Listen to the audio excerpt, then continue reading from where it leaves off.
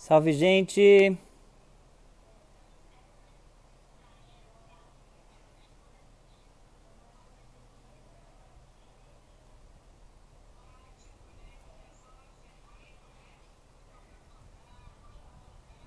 Oi, gente, todo mundo. Oi, Tami. Oi, Negão.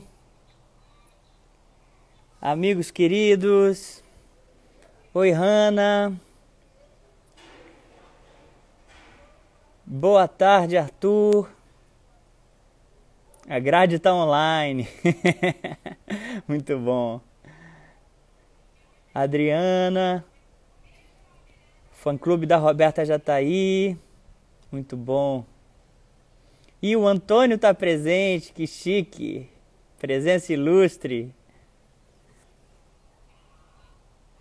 Um olho na aula do moleque e outro na live do, do VK. Pô, tamo todo mundo nessa, cara. eu tô aqui, eu tô revezando com a minha mulher também, a Corinha. Ana Montenegro. Um monte de gente querida entrando. Grande Pedro Keiner. Boa, Ana. Obrigado, Gabi. É isso aí, gente. Sua live foi linda demais. Linda, Matheus. Obrigado. Lu Souza. Foi boa, né? A live do. A live do forró. Tainá chegou. Que isso, Pedro? Cara, eu tô numa novela com a internet lá no Rio. Eu tô, eu tô em Teresópolis agora. Vamos ver se aqui vai rolar. É, já falei do Negão. Negão é. Inclusive eu tenho, tenho que confirmar a nossa, né, Negão? Se você puder na quinta-feira ou amanhã. É, a gente veio para cá para Teresópolis e as coisas mudaram um pouco para mim de os horários, mas eu estou disponível para bater papo com você quando você puder. Me fala, tá? Pô, Pedro, a sua, a sua participação foi linda, cara. É que a minha, a minha internet não segurou. Brabo. Matheus recebeu a conta da minha terapia no seu e-mail. ai, ai, ai. É, a minha live de sexta-feira, esse pessoal aí, para quem não sabe, gente, está falando da minha live de sexta-feira, que é uma festa, é um furdunço. A gente bota para quebrar, as pessoas choram, riem, é uma loucura. Mas hoje o papo vai ser diferente, hoje vai ser um papo pouco mais emocional. É, vou fazer uma pesquisa aqui da, de memória e afeto e música com a Roberta Sá, que deve estar chegando aí. É, hoje hoje eu, não, eu não prometo, não prometo é, fazer as pessoas irem para o psicólogo. Na verdade, vocês já estarão numa sessão de terapia aqui hoje. é bom demais. Vamos ver aí, Roberta deve estar chegando. Ela me deu oi, quatro horas em ponto. Ela falou: Oi, já tô aqui. Chegou? Eu não achei, eu não vi ela não. Cadê? Deixa eu ver aqui se ela solicitou. Ah, a Roberta tá aqui. Deixa eu chamar ela.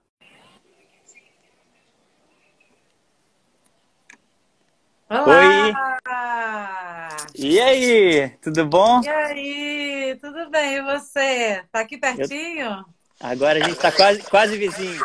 Quase vizinho.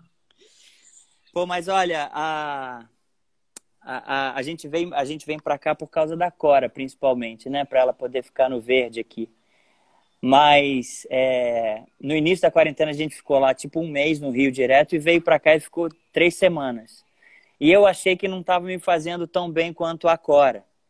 Mas assim que eu pisei aqui, Roberta, deu um, sei lá, assim, acalmou internamente. Muito louco essa, essa diferença de lugar que muda a energia da gente, né? Total. Eu tô aqui já há 40 e Ah, no mais de 40. Eu acho que eu tô aqui há três meses. Eu tô aqui desde depois do carnaval. Na semana seguinte do carnaval eu vim e fiquei. Porque Pô. começaram as notícias, eu falei, eu vou ficar. E aí convenci minha mãe a ficar. E a gente ficou por aqui também. E, e foi ótimo. Mas eu confesso que eu tô precisando um pouco de cidade. Só que agora o Rio tá no maior, no, no momento mais caótico, né? Então. Cara, o Rio, o Rio. Sei lá. Falo, é, eu sempre falo que o Rio é o, o pior e o melhor do Brasil, assim é, é, é, a ponta do iceberg, tanto do bom quanto do ruim. Assim, a, tá terrível o Rio. O Rio tá horrível. O clima tá péssimo. É, respinga muito as coisas políticas, pelo menos em mim, é, das coisas do, lá no Rio, sabe? Todo dia, oito e meia, em ponto, Roberta, batem panela. E eu sou a favor. Eu acho que tem que bater panela mesmo, mas assim, o Rio não deixa a gente esquecer da, de tudo que está acontecendo lá fora, sabe? Uhum. Essa, essa é uma. É. É, um, eu, é uma... acho, é, eu, eu não estou vivendo isso, embora eu, eu mesma não me deixe esquecer. Então. É, não, a gente é muito sensível às coisas, né? A gente não, não esquece, mas você ser lembrado é, é diferente de lembrar. É, não, total, é muito doido, cara. A gente tá vivendo realmente um momento muito, muito duro, né? Assim, a humanidade realmente, que decepção. Então, é, eu acredito muito numa, numa coisa que a minha professora é, de psicologia falava, que assim, o, a história, a, a, a, energia do mundo trabalha em gangorra uhum. para encontrar um equilíbrio. Então, a gangorra quando ela está muito exagerada para um lado, pode saber que daqui a um tempo ela vai para o outro. Então eu tô só esperando chegar esse outro. Ah, Porque... eu também. Eu vivo no outro tranquilamente. Quando exagerar eu também. no outro, tô felizona, assim. Eu vou ficar ótima. Eu também. É, é dureza. Mas vamos lá. Gente, olha só, esse papo com a Roberta é um papo que eu tenho tido com pessoas que eu admiro, artistas que eu admiro, sobre música, memória e afeto eu peço para a pessoa com quem eu estou conversando três músicas que marcaram a vida dela e a gente vai futucando o, o, o que está por trás dessas músicas, por que, que as músicas ficaram marcadas, o que estava acontecendo na vida de cada um quando a música entrou na nossa na vida, né? E aí a Roberta me falou três músicas, quatro na verdade, assim, de, de supetão. É, ela falou Mãezinha do Céu, que é uma música católica, né? Totalmente. Que, que depois que, eu, que, eu, que você me falou, eu tive uma formação católica também, mas não muito, porque a gente mudava muito de cidade, não tinha uma coisa assim de ter um lugar onde meus pais iam, sabe? Então eu não tive essa vivência com essa música, mas eu conversando com outras pessoas, várias, várias tiveram a infância marcada por essa música. Eu fiquei muito impressionado. Essa música ela é ela, ela tem um lance assim. E eu tinha uma coisa engraçada, eu brincava, eu criança assim, mas o grande lance disso, a minha tia cantava isso pra mim, tipo, me balançando na rede, a tia Márcia, daqui a pouco a tia Márcia aparece por aí. É, daqui a pouco a tia Márcia aparece. E a tia Márcia, me, me, que é a minha tia, que era a cantora da família, que é a cantora da família. E que, que ensinava as pessoas a cantar, e que cantava no ouvido, assim, ela tem uma voz linda, ela canta super bonita. Ela canta, por exemplo, Explode Coração, do Gonzaguinha, como ninguém. Para mim, essa música é da Tia Márcia, entendeu? E aí a Tia Márcia, ela, ela cantava isso para mim e eu cantava, só sei dizer eu quero, Tia Márcia. Ela falava. que demais. Eu já compunha em cima da música, não era que eu cantava a música assim. É, não, e provavelmente nem que você entendia, assim, não era, era uma questão afetiva mesmo que, que, que se criou ali, você com sua tia, né? Não, total. Ela, ela tem total esse papel, assim. E, e a, a gente, eu fui criada muito. Eu sou de uma família nordestina e bastante nordestina, assim, no sentido de a, a, a, tia cuida da, do sobrinho e o sobrinho é que nem o primo é que nem irmão, sabe? A gente é muito misturado mesmo, uma família muito extensa e muito misturada, assim, muito amorosa, muito a gente até fica brincando quando a gente fala assim. Eu falei, gente, o que, que vai ser da gente? Porque a gente meio que dá estalinho quando encontra. dois estalinhos das minhas tias, que é uma coisa. Mas assim, quando a gente não vai poder beijar na boca, gente. Esse negócio de beijar na boca já era. Acabou pra nossa família. Não vai dar. Caramba, né, cara? Que coisa. A gente é tão afetuoso, né, assim, de um modo geral, o brasileiro. E, quer dizer, tua família mais ainda, porque na minha não rola beijinho na boca, não. Mas deveria, porque é uma demonstração. Das minhas tias, assim, a gente beija claro. neném, sabe? Aí continuou, claro. ficou um negócio. Eu beijo na boca da minha filhota. Eu nunca tive isso. É, é, é uma. Pois é. É uma, é uma demonstração de amor linda. Mas é. deixa eu te perguntar, é, hum. essa família grande, é, como é que é a sua família pequena? Você tem irmãos e irmãs? Seus pais estão vivos? Estão Minha família separados? é enorme. Ah, é? Nós somos cinco lá em casa, né, também. Caramba! Somos cinco. Tem um menino sozinho, um pobre coitado, no meio de quatro mulheres. É... Aí meu pai e minha mãe se separaram, meu pai casou de novo. E é casado há 30 anos e a minha mãe também é casada há 30 anos. Então os dois se separaram, mas continuam super amigos e construíram muito uma família em torno desses filhos todos, entendeu? Assim, então as minhas irmãs que não são filhas da minha mãe frequentam a casa e a gente todo mundo meio misturado. É, é, é tudo é, é bem bonito assim, é uma história eu tenho muito, muita referência de amor, sabe? Assim, das coisas serem resolvidas. Não é que não teve problema, teve problema pra caramba. Mas as coisas sempre foram resolvidas com muito amor.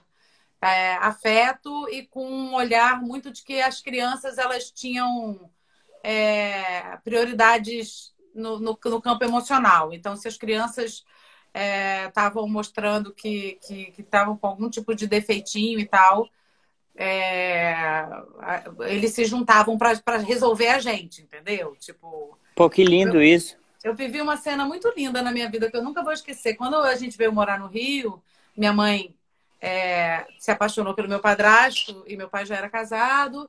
E aí a minha mãe pediu para trazer a gente para morar no Rio, né? E foi um momento assim que foi muito muito duro, porque meu pai meio que abriu mão de morar na mesma cidade que, que os filhos, né? E... Você tinha quantos anos? Nove? Eu tinha dez, nove. Né? nove. Tinha nove. E aí meu pai foi me entregar no aeroporto pro meu padrasto. E olhou para mim e falou assim: "Você agora você vai ter que obedecer ele do mesmo jeito que você me obedece". Eu fico toda arrepiada. Caramba, e eu, eu com o olho muito, cheio d'água. muito grande assim. Eu acho você tem filho, né? Eu acho grande isso, acho de uma alma grandiosa. Eu Sim. vivi momentos assim, de almas grandiosas, sabe? Esse esse início da vida, antes dos seus pais se separarem, a música veio. É, é, você considera que a sua família é uma família musical ou tinha esse ponto assim que era sua tia Márcia? Nada, minha família é super musical. E a família do meu pai é muito musical também, para lados diferentes. A família da minha, da minha mãe é mais é, da sanfona, das, do samba, das rodas. É, meu avô era muito musical, meu avô por parte de mãe, gostava de tocar tudo em Lá menor, ele tocava tudo em Lá menor, só sabia Lá menor, Lá menor. Que máximo! o quadrado de Lá menor. O quadrado de Lá menor era dele. E aí o vovô Beto, que é o, o meu avô, que eu sou Roberta por causa dele. Então, é tudo assim, Matheus. Se você quer falar de música e afetividade, você chamou a pessoa certa, porque para mim Pois eu é, eu tô até. Tô até com dificuldade de achar por onde, por onde eu vou começar a investigar essa sua musicalidade. Peraí, tá, que deu tá... um, tô, um, Rolou um telemarketing aqui, mas já. É. Não, eu tô até com dificuldade de, de, de, saber por onde eu começo a investigar a sua musicalidade, né? É, porque se vem das duas famílias, é, como é que era a, as reuniões familiares, elas eram em volta de música? Sempre, música e comida, né? Nordestino, gente. Comida, mesa farta era um, é um grande lance. Então, música e comida, principalmente na casa da minha mãe. Isso realmente é uma coisa mais da casa da minha mãe. O meu pai era mais do som alto. Do Beatles, do folk americano. Meu pai escutava muito folk, assim. Meu pai era um cara é, ele gosta de. É engraçado que se você conversa de samba com meu pai, ele sabe tudo. Sabe quem gravou, sabe o compositor, sabe o músico que tocou não sei o quê. Ele tem um conhecimento muito grande, ele gosta, ele me manda umas coisas de vez em quando. Mas meu pai era mais jovem guardista, assim, mais iê, sabe? Uhum. E a família da minha mãe mais para esse lado que eu puxei, assim, que é um lado mais samba. Meu avô era muito amigo do vovô Beto, era muito amigo do Paulinho da Viola, então É, tinha muita adoração por essa amizade. O vovô tinha muito, muito orgulho de ser amigo do Paulinho. Assim, era uma amizade que ele nutria assim, com muita alegria. Eu é, também seria como ele. É. Ele era Desperdiçar assim, um amigo desse, né? Né, imagina. é... E, é, e é isso, assim, minha musicalidade começou daí. E, e você lembra de alguma música que rolava sempre nessas reuniões familiares? Ah, tem muitas, cara. Ó, tem uma que é aquela do Tantas você fez que ela chorou. Porque você, rapaz, abusou da regra 3. Onde menos vale mais. Da primeira vez ela chorou, mas resolveu ficar. É que os momentos felizes tinham deixado raízes. Nossa, escutava isso muito. Tinha uma que era Regra 3, é essa Regra da, essa 3. Da... Ó, tô, tô, tô achando que. É, você tem quantos anos? Que mal lhe pergunte. Eu tô com 39, vou fazer 40 esse ano. Ah, a gente é perto. É porque essa música também era das rosas da minha casa. Ah, é? É. é. Mais outra, manda outra. Quero saber outra. mais. Quero contextualizar. É, tinha muito isso, tinha explode coração chega de tentar dissimular e disfarçar e esconder o que não dá mais para ocultar. Minha avó cantava insensatez, era a música Caramba. dela, assim. Ah, insensatez, cantava no piano, vovó tocava piano.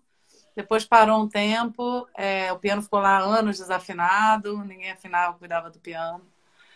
O, é... Quão, é, o quanto que a música, você acha, assim, o quanto que a música é para sua família um lugar de expressar alguma coisa que é preciso ser dita, assim, sabe? É, o quanto que as artes elas entram nesse lugar? Ou a sua família já tem um fluxo livre de falar as coisas difíceis uns para os outros? Como é isso, assim? Acho que a gente já tem um fluxo livre, é, bem livre. Aliás, acho que talvez até demais. é sincericídio, rola sincericídio. Sincericídio, sincericídio, gente. É um negócio assim. Mas existe isso. Eu acho que a música tem um. um, um, um o papel da música é de união. Esse lance hum. de botar uma música, tipo, a gente, vamos botar uma música, tomar um drink. E é isso, sabe? É, acho que a gente tem muito respeito um pelo outro é, nas divergências. É, tem muito, muita briga também, de vez em quando rola um, uns atritos, assim, fica um tempo sem falar. E... Mas sempre no, no, numa coisa de que vai voltar, assim, não existe deixar. No meu coração, no, família, é um negócio que você não deixa de falar, entendeu? É, uhum. família. Você não briga de ter para sempre com a família. Você não morre brigado com família, entendeu? Não vai dar. Para mim não vai dar. Nessa encarnação não vai dar. Eu vou ter que resolver no divã as coisas que eu tenho para resolver, ou dentro de mim, ou cantando. É, mas eu acho que a música, sim, resolve muita coisa em casa. É, e é um, um, um lugar de, de, muita união, assim. A gente se une muito pela música. Sim, que máximo. O meu pai, ele fala uma coisa que eu adoro. Ele fala, é, brigar tudo bem, ficar de mal é que não dá. É que não dá, exatamente. Mas é total isso, gente. ele fala, isso pra, ele fala isso para tudo. Até em bar, ele fala, pô, briguei com o garçom, mas eu vou lá, não posso ficar de mal com o garçom do bar que eu gosto. Claro que não. É. Concordo. Assim, não pode ficar de mal. Brigar, tudo bem. A gente erra, a gente é ser humano, né? Todo mundo. É... Embora tem uns aí que eu acho que não são mais. É, perderam a humanidade. É. Perderam a humanidade. É, Para gente que, que busca justamente a humanidade, é normal a gente desconecta às vezes, é, é super normal. Sim. Mas a música tá aí, eu acho que a música é conexão. E, e o Brasil também, nesse ponto, né, Matheus, assim, a gente é, é, tem conectado muito através da música, eu acho, nessa, nessa, nessa loucura dessa pandemia, assim. Tem sido um, um ponto de encontro. Sim, né? e, e, de saúde, né? É, e de saúde. E música, e música forma uma família também, né? Assim, eu, eu, tenho todos os músicos, sei lá, que eu conheço, de, que eu tive acesso alguma vez na minha vida, assim, tipo você. Para mim é tudo família, assim, é uma galera. É, a é gente não tem. Assim. A gente não tem nem intimidade, né? Mas a gente tem abertura um pro outro, né? Exatamente. É tipo a mesma enfermagem, sabe que é da mesma ala de enfermaria, isso já é bastante coisa. Naquela, deitado na maca, se você puxa a, a, a a cortina tem uma Roberta ali do meu lado. Tem do seu lado, posso ter certeza. Que máximo, cara. É, isso Mas... é muito legal. E deixa eu te falar uma coisa. É... Como é que você lembra, assim, do momento que começou a, a, a, tritar o seu pai e sua mãe? Como é que foi?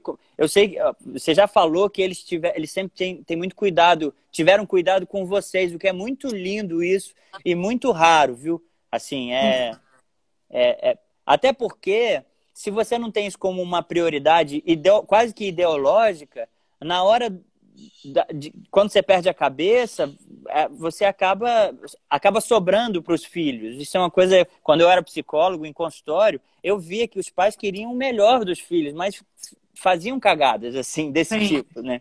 Sim. É, mas você lembra, é assim de é, disso ter te pegado de um jeito ruim, você ter ficado triste?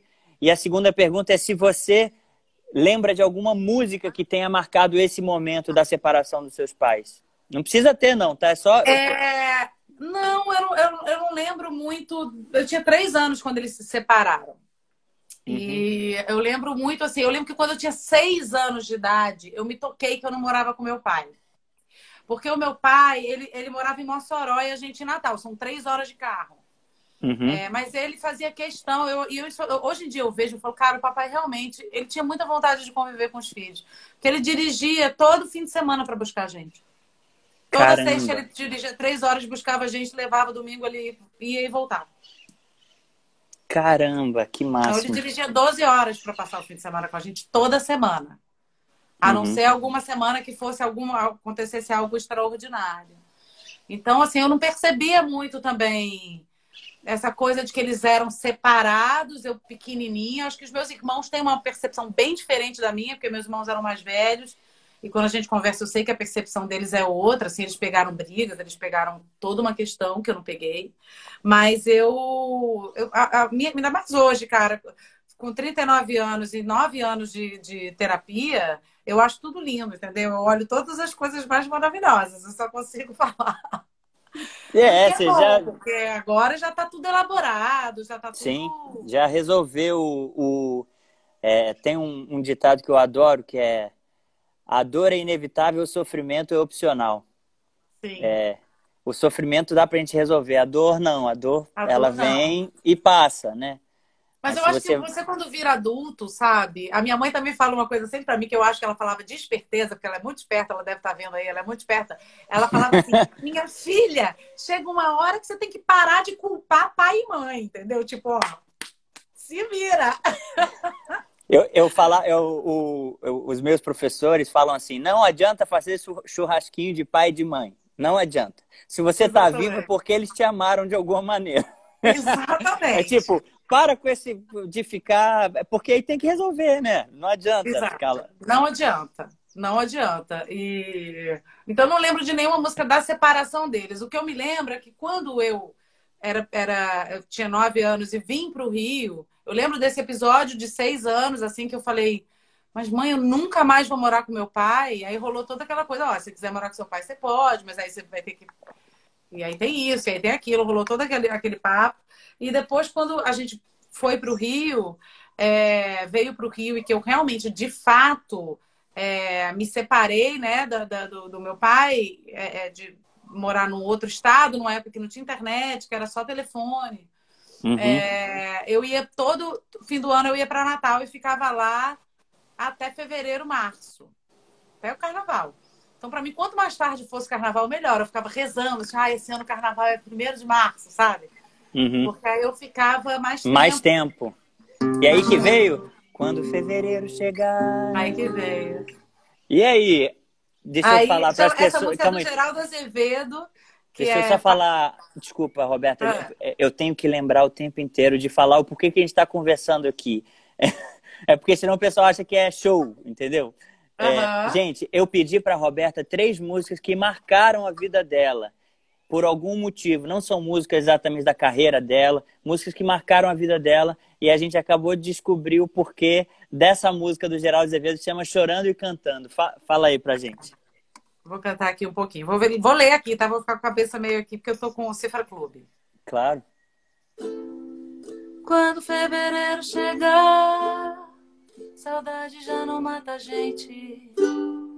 A chama continua no ar, o fogo vai deixar semente. A gente ri, a gente chora. Ai, ai, ai, ai, a gente chora. Fazendo a noite parecer o dia. Faz mais, depois faz acordar cantando.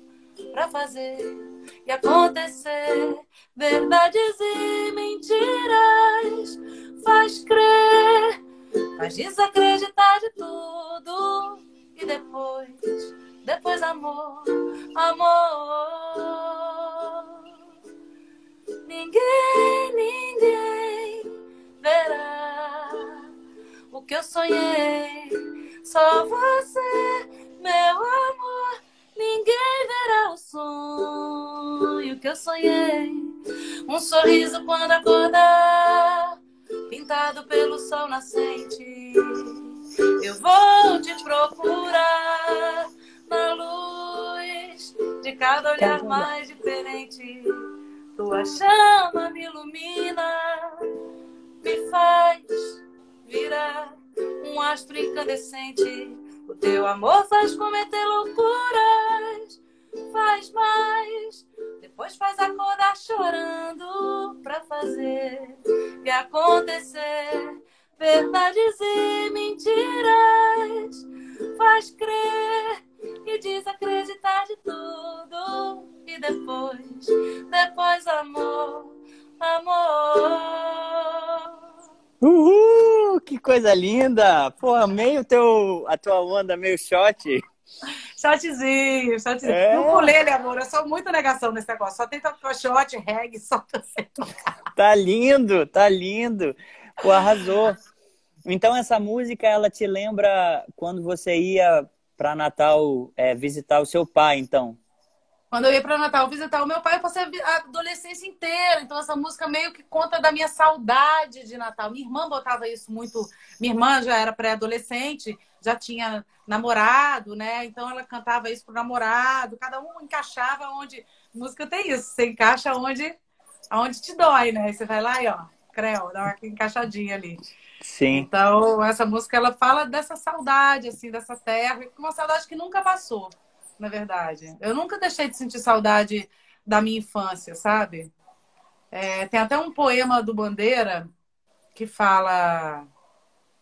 É, eu não, não, vou lembrar o poema, mas ele fala que, que queria que queria te devolver as, as mais doces alegrias da sua infância. Ele deseja isso para outra pessoa, sabe?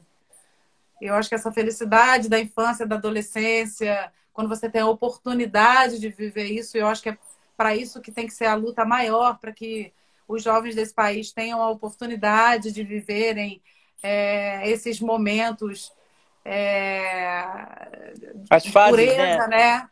Dos jovens não serem tão adultos, assim, isso me machuca muito quando eu vejo jovens com, com a infância e com a adolescência roubadas. Tão Sim. jovens se preocupando, ainda mais para quem teve infância, quem teve adolescência. Sim, isso que você está falando é é definidor de futuro do país. Exatamente. É definidor é... de futuro do país, exatamente. Eu vou procurar aqui o poema. Vai falando alguma coisa aí que eu vou procurar o poema para ver se eu leio. Tá. É, eu tive uma, uma experiência de infância também muito boa, parecida com a sua, assim. É, eu nasci em Salvador, mas os meus pais, eles são mineiros. O meu pai de Divinópolis e minha mãe de Ouro Preto. E o meu pai se mudava muito gente, de trabalho, de cidade, a gente ia junto com ele. Então eu lembro da gente, eu saí de Salvador com três anos e fui para o interior do Pará, é, num lugar que é chama Barcarena. A, a, nossa família foi uma das, sei lá, 40 primeiras famílias a chegar no lugar. Era mato, mato, mato. Então a minha mãe falava que de, de manhã ela soltava a gente com um short e um chinelo é, a gente ficava livre com os amigos, com a floresta, com essa relação com a natureza. Voltava de tarde é, ou na hora do almoço, porque cada um a gente almoçava na casa das, das, dos outros pais. E aí voltava de noite, ela disse que colocava mercúrio cromo nos, ralados do joelho. E a vida seguia. Era uma coisa assim de uma liberdade, de uma pureza, de um. É... Imagina, cara, se, se a realidade do Brasil é essa, não é, né? Não, não é. Não é. A gente teve. A gente, realmente isso é de um privilégio sem igual. Sim. E a gente tem mesmo que brigar e lutar para que as crianças tenham, tenham as crianças desse Brasil. Outra coisa, tem um amigo que, que, que... a gente está entrando no outro assunto já, mas sobre esse é, lance das crianças. A gente volta. E esse, esse amigo me falou uma vez uma coisa muito linda, que ele adotou dois filhos. E ele falou, é, se as pessoas entenderem, eu não entendo por que, que as pessoas é, tem tanta questão com a adoção, assim, porque se as pessoas entendessem que todas as crianças do mundo são nossos filhos, porque são filhos da humanidade, as coisas seriam muito mais simples. A gente tem que cuidar de todas as crianças do mundo. E eu acho isso de uma, de uma clareza de pensamento, assim. É, não importa se você é pai, se você é mãe, eu não sou mãe, mas eu, eu, eu não, não, importa. Não impede que eu cuide das crianças, entendeu? Assim, eu acho que a Sim. gente tem que largar a mão do nosso próprio, já que isso aqui é uma sessão de terapia, largar a mão do, do, dos nossos próprios, do nosso, do nosso ego. Sim. Sabe? Mesmo. Sim. É trabalhar para isso, sabe? Trabalhar. É, essa, essa noção de que é, a gente não faz parte do todo é uma noção construída que é preciso ser desconstruída já, né? E a, e a, e a pandemia, eu acho que deu um pouco dessa noção de volta para muitos de nós. Eu não sei se para todos e se para a maioria, mas eu acho que quando você está em quarentena, quando quem pode estar em casa fica em casa, não está ficando em casa por, por pela própria pessoa, né? Eu não estou em casa por mim, eu estou em casa claro. por todos. É, então essa ideia de que eu até, aquela música que eu lancei, Fechado com Você, quando eu tive esse clique de falar, caramba, eu tô fechado em casa com você, mas eu tô fechado com você, humanidade. Por Sim, você. É, por você. É, é. Que, que, que, massa. É e, cara, essa, essa noção da, da criança que você falou aí é uma coisa assim. Fiquei emocionado aqui. Você emendou em outro assunto, eu consegui segurar o choro, porque eu sou chorão, viu? Você vai ver. É, eu, eu sou eu ainda, também. Eu ainda choro hoje aqui com você. Ah, vamos chorar os dois, cara. Eu choro pela humanidade, assim, às vezes eu vejo alguma coisa que me. Eu tenho crises de com, o que está acontecendo, às vezes eu choro assim de soluçar. É, parece que parece dor de amor, sabe? Parece dor de pé na bunda, assim, sabe? É. Às vezes eu sinto uma dor de pé na bunda com o mundo, assim, eu falo, caraca, boy, você tá fazendo isso comigo? É. Boy, a vida é um osso que o destino rói. Mas eu vou ler lá. o poema, o poeminha do, do, do Bandeira. Boa, manda. Chama O Impossível Carinho. Fala o seguinte: escuta, eu não quero contar-te o meu desejo. Quero contar-te apenas a, a minha ternura. Ah, se em troca de tanta felicidade que me dás, eu te pudesse repor, eu soubesse repor no coração despedaçado as mais puras alegrias de tua infância. Ai, é. Deu um... quase, hein? É, eu lembrei. Chorar, eu lembrei de, um, de uma música que eu fiz, eu já até cantei em algumas lives dessas de entrevista, que fala sobre chorar. E no final da música, é, eu falo, por isso eu choro, choro. Quando a emoção me alcança, eu lembro da criança que ainda mora em mim. É, essa criança que tinha o fluxo livre das emoções. Isso é que a gente não pode esquecer que é, que é ouro. É, não, não pode mesmo. Não pode mesmo, a gente não pode esquecer. Quando a gente se priva de alguma coisa, de, de alguma emoção, quando a gente impede alguma coisa que precisa sair, a gente não impede só aquilo que a gente não quer que saia, a gente, a gente impede outras tantas coisas que estavam ali orbitando aquela emoção que a gente reprimiu. Então eu sou super a favor de que a gente possa simplesmente ser, né? Sem. É, o, o, nosso limite é, é, invadir o espaço do outro, mas o resto, tudo pode. O nosso limite é, é o espaço do outro. Concordo total. Concordo total. Mas então, vamos lá. Uh! Fiquei, fiquei, me pegou aqui o coraçãozinho bateu, mas agora vamos nessa. É, a outra música, Roberta, que você tinha falado, é uma música que eu não, não que eu fiquei curioso, que eu não sei o porquê que te pegou. E queria que você contasse a história e depois cantasse a música, que é qualquer coisa do Roberto, ou do, do Caetano. Do Caetano. Deixa eu ver se eu acho ela aqui, até para ver se eu. Cara, o qualquer coisa foi a primeira música que eu cantei. Aí vim para o Rio, adolescente, né? É, deixa eu ver se eu acho ela aqui no Cifra Clube enquanto a gente conversa. É, vim para o Rio, adolescente. É... Comecei a fazer aula de canto. Na verdade, eu comecei a cantar. Eu já contei a história. Isso é o Cifra Clube, tá, gente? Peraí. Porque eu não pago ele, não. Ele, ele devia me dar de presente, mas tudo bem. Faço tanta propaganda. Mas... Devia mesmo. Devia, devia me dar, dar... de presente. Para todos os músicos, né? Eles deviam abrir esse negócio de propaganda de Cifra Clube, gente, é um inferno. Mas, enfim. É... Agora ficou a propaganda. Você, você veio. Rio, você veio nova, né? E aí eu você, vim nova. Você estudou é, em colégio normal? Como foi, assim, a tua, tua pré-adolescência e adolescência aqui no Rio? Estudei no Notre Dame, escola ah, católica. Sim. Eu tenho uma relação com, com, com, Eu acho a Igreja Católica, enfim, não vou entrar nesses meandros para não ofender ninguém. Mas, de qualquer forma, não, não, não, não sou praticante da, da religião católica, não, não vou à missa e tal. Mas eu tenho uma, uma grande relação com Nossa Senhora. Eu tenho uma relação com ela mesmo. Eu tenho a sensação de que ela salvou minha vida. Isso é uma coisa que eu nunca falei, inclusive.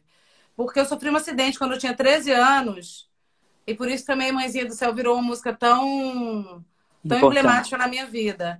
Porque eu sofri um acidente de bugre quando eu tinha 13 anos. E eu quase morri. A gente derrubou seis estacas de concreto. A minha prima quase perdeu a perna. Foi um horror. Eu, eu tenho muitas marcas no corpo. Porque elas são muito suaves mas eu tenho marcas de arame farpado, que eu caí em cima de uma cerca de arame farpado. E eu, eu, eu lembro, no momento de eu estar voando do carro, que era um bugre aberto, de eu ter me encolhido e ter começado a rezar Ave Maria. Meu Foi Deus, minha, Roberto. Minha reação. Foi, Ave Maria, cheia de graça, Senhor é convosco. E Mateus, é uma coisa muito louca isso. Eu só já contei isso para Elba Ramalho, porque a Elba é dessa... De, da turma Dessa da turma. Nossa Senhora. Da turma é. de Nossa Senhora. Cara, eu senti alguém me pegar pela, pela, pelo, pelo corpo assim e me colocar no chão. Eu não tive nada. Nada. Que loucura, gente. Então, isso assim, é um negócio assim que eu, eu tenho uma relação realmente com Nossa Senhora. Isso eu tinha 13 anos. Quando eu tinha 16 anos, no Rio, eu estava no colégio, no Notre Dame, o que foi muito bom, porque eu entrei em contato com a música lá também, porque lá tinha aula de música, ainda tinha aula de música lá o que é uma coisa que eu acho que não, não ter mais aula de música em colégio uma um horror. É um horror. Se, se fossem só esses os nossos problemas, né? É. Mas, enfim, eu, eu sou cantora, eu acho música importante e, e é isso. É, para a formação das pessoas. E Sim. lá tinha. E aí, quando eu fui fazer vestibular, eu já não estava cansada de estudar biologia e matemática, eu já sabia que eu não era nada daquilo que eu queria. Pedi para mudar de colégio. E aí fui para um colégio, chama Colégio da Cidade, e eu me apaixonei perdidamente pelo meu melhor amigo de lá. E ele, com três meses de namoro, ele me largou pela amiguinha. Ai, Mateus. que safado. Um safadeza. Eu fiquei tão triste, tão triste. E eu fiquei jogada na cama por cinco dias, chorando. Dor de cotovelo, dor de cotovelo. E aí uma grande amiga minha, que é a Ju Araripe, eu não sei se você conhece a Ju. Você conhece a Ju? Não, acho que não. Não sei. talvez. Uma atriz talvez maravilhosa. Não, não é minha amiga, mas talvez eu saiba quem é. Mas fala. Uma atriz incrível, que já era minha amiga naquela época. A Juliana olhou para mim e falou assim: Ah, Beta, vou te levar para. Aquele jeito dela, Beta, vou te levar para canto terapia. E a Juliana é a grande responsável por eu ter começado a cantar no palco. E o primeiro show, quando eu lembro quando a primeira vez que eu cantei no palco, eu falei, cara, que boy, que nada, que que é isso, entendeu? Meu negócio é isso aqui. Me, me achei no canto, assim. Me achei, achei um, um lugar de fuga, sabe? Um lugar de, de, de autoconhecimento. Achei um lugar de, de firmeza, de força. De um lugar que eu volto quando alguma coisa dá errado, eu volto pro meu canto, sabe? E hoje uhum. em dia eu tenho uma propriedade com isso, assim, muito grande, que foi conquistado depois ao longo da, da carreira. Mas qualquer coisa entra nesse momento, que foi a primeira música que eu cantei é... No palco. Que eu, que eu cantei no palco, na minha vida. Eu não sei nem o tom que eu, que eu cantei. Cara, deve ser sol, sol menor. Deve ser sol, né? Deixa eu ver pra aqui. você. é. Eu canto essa música também, um tempão. Então ela, ela. Eu não acho que eu não nem vou conseguir tocar, apesar dos acordes serem simples. Qualquer coisa. Quer que eu toque? Talvez. Qualquer coisa. De... É porque às vezes tá errado. É, muitas vezes tá errado. É, não tá bonito não isso aqui. Pode tocar. Deixa eu fazer então, rapidinho.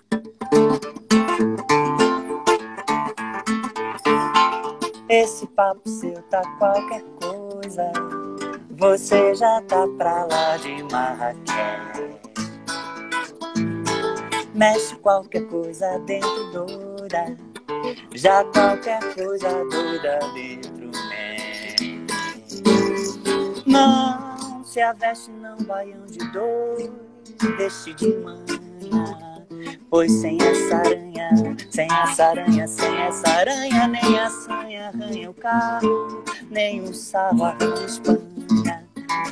Nessa tamanha, nessa tamanha, esse papo seu já tá de manhã.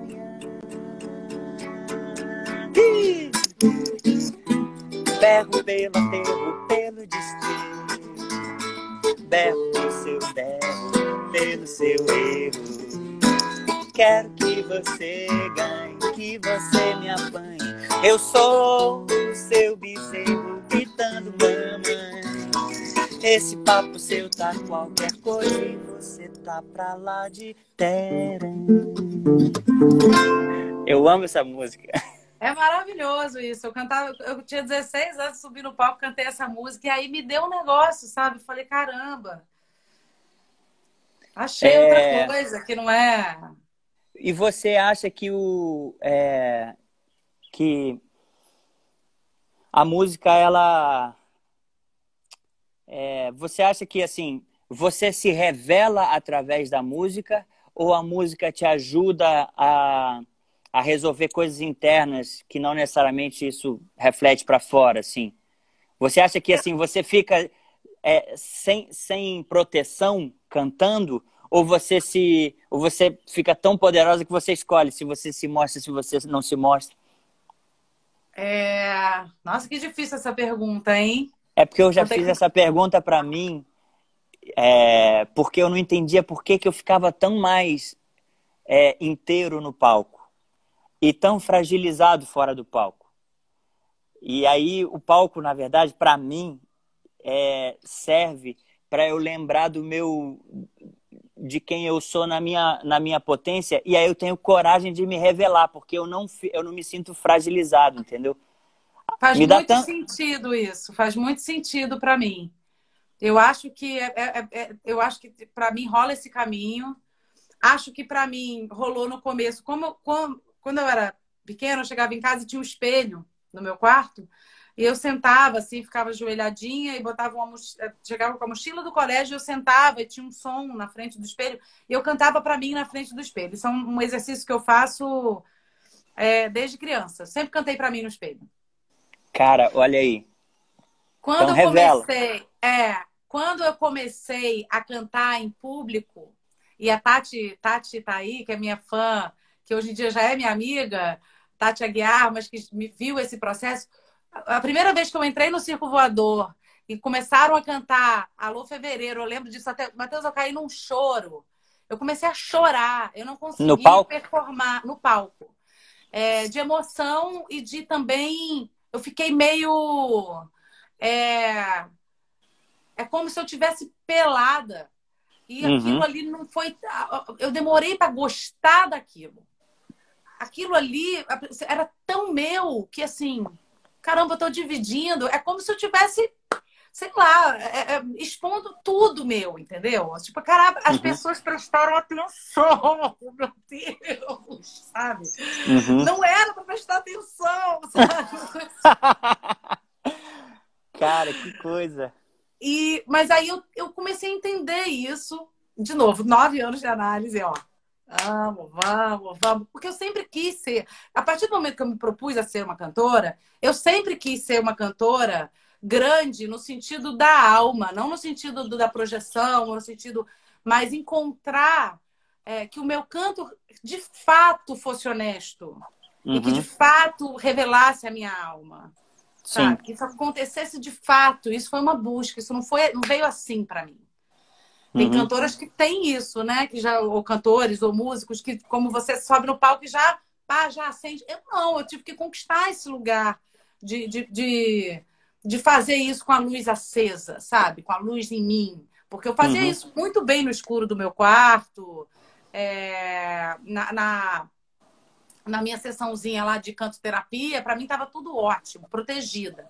Quando Uhum. me lancei, ficou muito desprotegido. E essa é uma conquista basicamente recente, esse lugar que você tem. Então, acho que Sim. hoje é isso aí. Mas eu não Caramba, que faço- máximo. Mas eu tenho ainda o lugar do espelho. O Claro. espelho não me abandonou. Quando alguma coisa acontece, eu tô muito triste, eu canto olhando no espelho. Mas aí tem que ser trancada, tem que ser sozinha. Aí não pode ser na frente de ninguém, porque senão Claro. não faz sentido. Porque aí é Sim, para sim. most... é para eu me mostrar para mim, Sim. sabe? Eu tenho muito esse lance. Pô, que lindo isso, cara. A, a música tem realmente é, forças. é, tem uma força total, mas tem forças específicas para cada um, né? Cada um se usa a música de uma forma. É, É, eu ale, Eu acho que a canção brasileira, só para complementar uma coisa que eu ia falar, esqueci, a canção brasileira, ela é, é, um, um dicionário de emoções. Você Sim, tá querendo colocar a sua emoção no lugar, sei lá, diz qualquer coisa. A gente pode fazer esse exercício com o público, inclusive. uhum, Assim, de fala uma coisa que você tá sentindo e a gente achar uma música, sabe? Porque sim, tem. acontece muito. Tem. E, não, e tem, é, é. Eu mesmo, quando, quando eu era mais psicólogo, eu fiz muitas músicas de processo meu. Imagino. Muitas músicas de processo de, de vencer medo. Tem uma que eu nem sei se eu sei tocar, que é... Quando a vida me convida pra dançar, eu vou. Vou longe do meu medo de voar. Te dou minha mão se me quiser. O meu canto de inventar. Coisa boa é cama, cana, camará. tipo essa coisa de. Às vezes eu tô com medo, mas eu falo. Eu, se eu não for na direção do medo, o medo vai me derrubar. Então, na subida, às vezes penso em desistir, não vou. Mas me lembro que aprendi a perseverar, bastou. Pro amor desenvolver, tem que antes se envolver. Eu me lanço pra bem perto de você. Lindo. É, tu- então, assim, na verdade, eu sou mais um compositor que nem sou um compositor assim, mas é, qualquer emoção que a gente quiser, alguém já fez uma música. Sem Alguém já fez dúvida. uma música. Na música, Fa- ainda mais, ainda mais a canção popular brasileira, que é tão rica, a língua portuguesa. Eu queria fazer um pedido aqui, eu vou começar a pedir isso para as pessoas. Gente, não deixem de falar português, não, pelo amor de Deus. Não É. deixar essa língua morrer, não. O português do Brasil. É tão bonito é, essa nossa língua brasileira. Eu Sim. acho que é a, a poesia mais linda do mundo. São os meus poetas favoritos, meus compositores favoritos. O que, que é Adriana Calcanhoto? O que, que é Chico Buarque? O que, que é, sabe? Sim. Poxa, tem tanta gente. O que, que é Dona Ivone Lara? O que, que é, sabe? Sim, é, pô, esses dias eu vi a live da Tereza Cristina só da Dona Ivone, é uma, É. é uma Tereza é loucura. grande compositora também. Eu gravei uma música da Tereza no meu primeiro disco que falava muito, muito desse meu processo, que ela fala: Canto pra esquecer a dor da vida. Sei que o destino é, sei que o destino do amor é sempre a despedida. A tristeza é o grão, saudade é o chão onde eu planto. Do ventre da solidão é que nasce meu canto. Caraca, fuder, lindo. Tereza. É. Tereza é foda, né?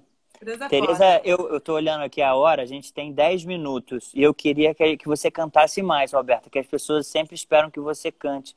Tá, Mas deixa eu eu- procurar alguma coisa aqui rapidinho. Tem uma que eu, que eu quero cantar. Deixa eu ver. Enquanto isso, eu falo, eu falo para todo mundo, gente, Tereza Cristina é uma artista brasileira gigantesca, viu?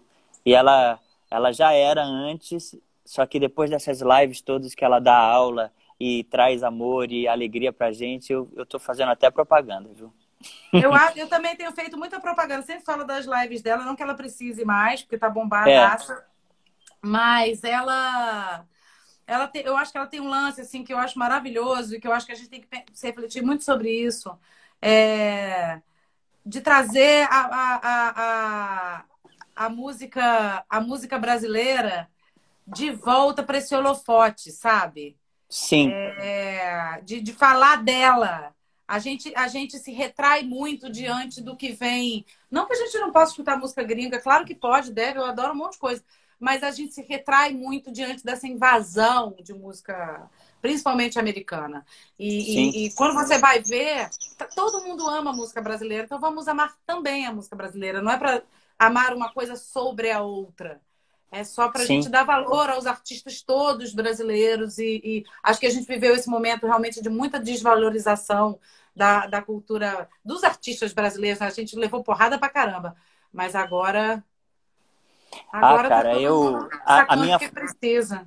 É, a minha formação é, é, música brasileira e eu flerto com um monte de outras coisas, mas é, é isso aí. Eu, a minha formação é essa aí que você está falando, que a gente né? precisa não esquecer. Mas canta um pouquinho pra gente. Assim, a gente pode você cantar e depois a gente abre uma outra só para encerrar, dar um tchau. Ou então, você que sabe, eu tô por você, viu, Roberto? Podemos. Você, eu posso você ficar já... aqui mais um pouquinho, se a gente abre outra. Fica aqui, canta mais, só pra gente não ficar correndo também. É... Tá. Eu tô procurando uma música que eu quero fazer, porque é dessa época de Natal eu fiquei saudosa. Boa. Ah, a Dani tá falando aqui que a Cora hoje dormiu. A Cora tá com uma dificuldade de dormir de tarde. Aí hoje, eu ouvindo seus discos todos, eu passei a tarde, amanhã ouvindo seus discos, assim, para ir entrando no clima e tal. E aí ela dormiu ouvindo. Ai, meu Deus, do Segunda Pele. O, a música que, que teve clipe, que deu uma bombada, assim. O Pavilhão de Espelhos. Cara, e aí ela tava no colo da Dani, assim, já quase dormindo, aí a música acabava, aí ela, de olho fechado, falava: Ai, papai, ai, papai. Ai, aí eu voltava a música. E a gente teve uma conexão, eu e Cora. Teve, a gente comprou é. na casa da Mari, ela veio pro meu colo ficou super comigo, assim. Parecia que eu era a tia. A tia antiga dela, assim. Tia já... antiga dela, fiquei super orgulhosa. E eu amei uma coisa que você falou, que a gente tava com aquela, aquele banquinho que é tipo uma pochete. Aí ela ficou em pé na pochete, aí, aí você falou assim, agora já tá se acostumando com o palco, é o palquinho é, dela. É o palquinho dela, total. É. Ela tava lá, ó, toda... Demais. Vou cantar uma música do Cavalo de Pau, chama Timidez. É porque é dia do, tá, tá perto do Dia dos Namorados. E aí, é, Cavalo de Pau, da minha época, forrozeira, eu sou super forrozeira. E esse forró é o forró que eu mais escutei na vida. Não sei se você conhece, talvez você conheça. Há muito tempo que eu te quero. Espero você dizer que estou apaixonada, mas fico calada. Não sei o que fazer. Quando eu estou pensando nele esqueço quem sou. Um dia vou criar coragem, timidez é bobagem, bonito é o amor. Aí peguei um tom que eu não vou conseguir cantar o refrão. Outra, coi outra coisa que eu queria falar, além de mandar um beijo para Dani, é falar que a Dani é filha do Glazer, né? Do meu primeiro Não, é- diretor é... da vida. Ela é, é, ia, é, é, a sobrinha dele e eu, pô, já ia esquecendo. É, ela falou: ah, se você lembrar, fala que o Glazer é, dirigiu o Fama, que a Roberta tava, e a Dani tava. Ela era assistente, tava no início da carreira dela, de, de, de, de na Globo, assim. E aí tem essa conexão do, da família com você. Total, cara. Sempre que, que eu vejo o sobrenome da Dani, eu nunca comentei isso com ela. Eu não sabia se ela era filho, o que, que ela, é, o que, que ela é, era. sobrinha, sobrinha. Ah, que amor, eu... cara. O Glazer foi uma pessoa, assim, fundamental. Me falou coisas muito importantes. Quando eu caí, eu caí no Fama, né? É. Dani deve lembrar que eu me estabaquei. O, ela, ela tá falando que meu tio te adora. O tio dela adora eu você, adoro, adora mesmo. Cara. Ele que me batizou. Eu sou Roberta Sá por causa do Glazer. Eu usava é, Roberta Varela. Ah, é? Ele mudou? Ele falou, Mudou, ele falou, não "Ai, tá bom? Roberta Sá é nome de cantora, amor. Tem Sandra de Sá, tem Wanda Sá.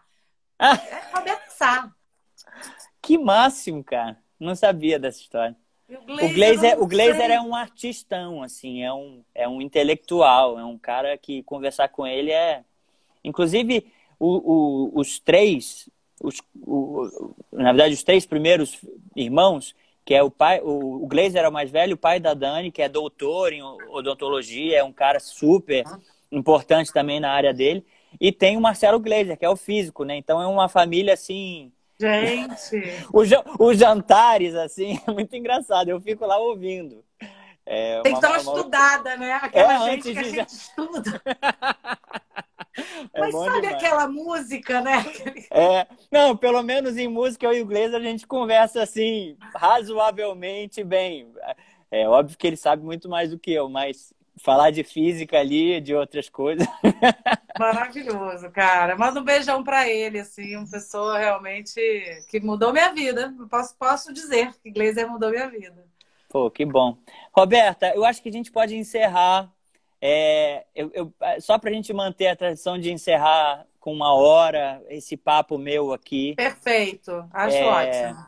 Foi bom demais. Muito, muito obrigado, viu, por topar bater esse papo comigo. Eu, eu, eu às vezes, é, é, eu, eu morro de medo de ser invasivo, mas eu amo esses, é, essas histórias mais, mais é, íntimas, assim, né? História, história que constrói a gente, né? É, eu E acho que vo- faz parte do artista, na verdade, também revelar. É, eu, tenho, eu tenho tido muito gosto também em, em- contar para as pessoas um pouquinho da minha trajetória emocional, porque eu acho que a gente fica com a sensação de que, de que artista já nasce construído, dizendo as coisas certas e, e tal. E, cara, a gente sofre muito, cara. Eu já, Pô. passe- já, já, já me joguei muito no chão, assim, Vivian Lee, e o vento levou, jamais sentirei fome novamente. Mas, assim, capaz de acontecer amanhã isso, entendeu? É isso que as pessoas Sim. têm que entender. É, um não tem. processo- É, não tem um lugar que se chega e que tá e que foi, né? Que Não chegamos. tem. Não tem. É, Esse lugar É, não existe. é, eu, porra, eu tenho altos e baixos muito barra pesada também. Tamo junto, amigo! É. Mas é isso, Mas gente. Muito gente bom, muito na obrigado. família, nos amigos. Um beijo pra Dani e pra Cora. Quando isso tudo Vou passar, vou- a gente se faz uma visita. Isso aí. Eu vou guardar essa live aqui para quem quiser rever, gente. Quem quiser compartilhar, vai estar no meu no meu IGTV, tá bom? E ó, é, Roberta, mais pro futuro eu vou fazer uma live de forró de novo. Eu fiz uma semana passada e vou fazer uma acho que dia 25, eu acho. É sexta-feira. E aí, de repente, eu vou te chamar para você dar uma Tá bom. canjinha. Pode Conta ser? comigo, dou felizona. Apareço Tá aí. Beijo, Um queridão. beijo. Tchau, tchau. Beijo, gente. Tchau, tchau.